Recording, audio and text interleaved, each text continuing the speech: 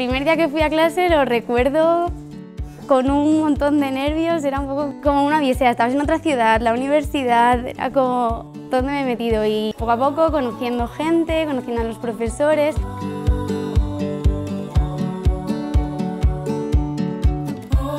Recuerdo que al principio estaba un poco nervioso porque era en Barcelona, una ciudad en la que no conocía a nadie y llegaba totalmente de nuevas.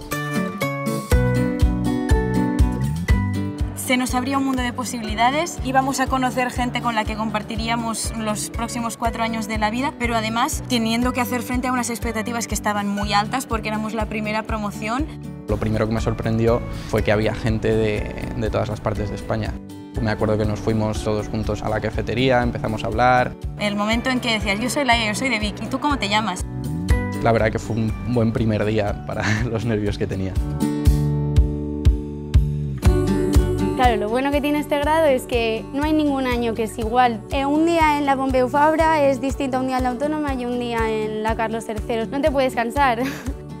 Cada universidad tenía su propio funcionamiento, pero yo creo que eso nos ha enriquecido a todos, el poder disfrutar de tres buenas universidades con métodos distintos, pero con muy buenos profesores.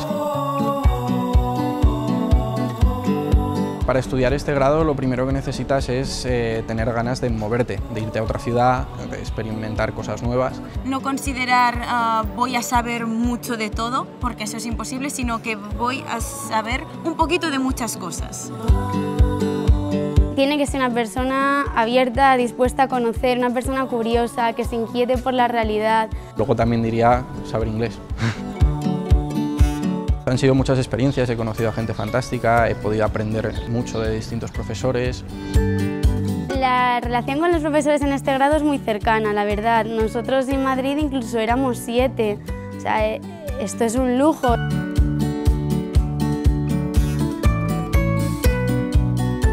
De mi promoción destacaría el que hayamos sido capaces de mantener lazos después de, digamos, separarnos de ciudades.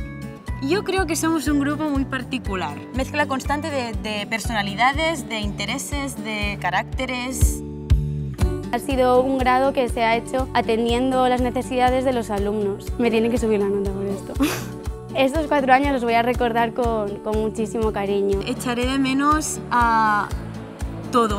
Esos dos primeros años en los que nos podíamos ver cada día, a las 6 de la tarde en cualquier momento, oye, nos vamos y nos tomamos una cerveza, es algo que ahora no vamos a poder hacer probablemente. Todos nos llevamos un poquito de todos dentro del corazón. Las amistades que haces en la universidad las guardas para siempre y yo creo que va a ser así.